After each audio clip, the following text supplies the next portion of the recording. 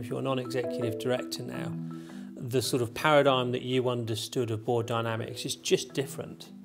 Now, you really do need to be able to reflect and share that experience with other people. You probably also need other geographical reference points because actually innovation is coming massively out of Asia at the moment. And are you really connected in that environment? Do you really understand what's, what's going on?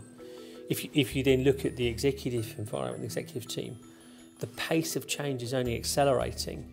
You've got to lead that. Now, realistically, if you're not connected externally, it'll be very, very difficult to lead that debate.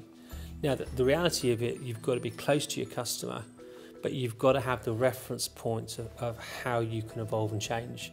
And this marketplace is just essential to effectively get people to buy into a decision that you haven't benchmarked fully, I think is going to be extremely dangerous.